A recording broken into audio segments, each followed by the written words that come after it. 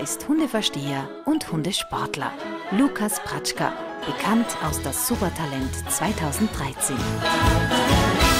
Er befasst sich intensiv mit Hundetraining und hat mit seinen Hunden schon mehrere Auszeichnungen in verschiedenen Kategorien erzielt. Er kennt die Probleme und hat die passende Lösung dafür.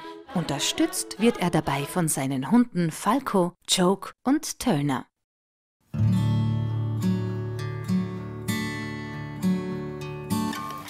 Viele Hundebesitzer kennen das Problem, dass ihr Hund Angst hat vor bestimmten Geräuschen, wie zum Beispiel Gewitter. Auch ich habe das Problem mit meinem Falco. Er hat zum Beispiel totale Panik, wenn er Silvesterknaller hört, die ja auch jedes Jahr immer wieder kommen. Was ich dagegen mache, damit ich diese Knallereien mit positiven Handlungen bei ihm verbinde, zeige ich euch heute in unserem Training. Damit ich den Hund jetzt daran gewöhne, dass diese Geräusche, die er nicht mag, ähm, eigentlich voll positiv sind, nehme ich das, was mein Hund gern hat. Im Falco sein Fall ist das jetzt ein normales Trockenfutter, das er eigentlich um die Zeit gerade bekommen würde. Ich stelle ihm das jetzt aber nicht einfach nur so hin, sondern ich habe hier so einen kleinen Lautsprecher und werde da einfach mal die Geräusche ganz, ganz leise abspielen. Und sobald ich merke, mein Hund hat das mitbekommen und hat mitbekommen, dass da auch wirklich die Geräusche ähm, laufen, fange ich an, dass ich Leckerlis ganz wild hin und her werfe und ganz viel äh, lustige Dinge damit mache. Wichtig ist, dass ich jetzt nicht sofort, wenn es losgeht, ähm, die Leckerlis werfe, sondern ich starte mal schaue, ob mein Hund das mitbekommt. Wenn er jetzt ein bisschen verschreckt schaut, ist das ganz okay. Und jetzt beginnt das, was ich mache, und zwar, oh, so lecker nicht. Falco, so. Nichts. Wenn ich jetzt meine, es war genug und er findet das gerade lustig, drücke ich die Aufnahme auf Stopp und höre aber auch auf sofort auf.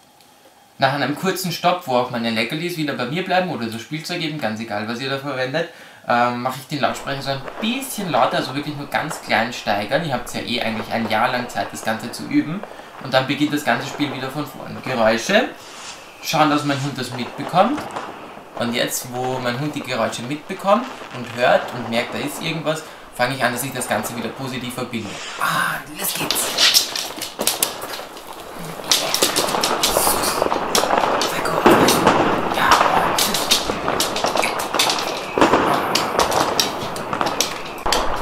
Und wieder Stopp. Wichtig ist, dass ihr da auf jeden Fall nicht zu ungeduldig seid. Ihr habt ja eigentlich von Silvester zu Silvester wirklich ein ganzes Jahr lang Zeit, das äh, langsam zu steigern und auch wirklich immer auf euren Hund Acht geben. Wenn es schon zu laut ist, dann wieder lieber einen Trainingsschritt zurück. Und ich glaube, wenn euer Hund das wirklich ganz bewusst mit, mitbekommt, da ist das Geräusch, das ich eigentlich nicht mag, aber bei meinem Menschen gibt es dafür was ganz Lustiges und ganz Besonderes, dann ist das nächste Silvester oder das Geräusch, das ihr ähm, demnächst hört, gar nicht mehr so schlimm.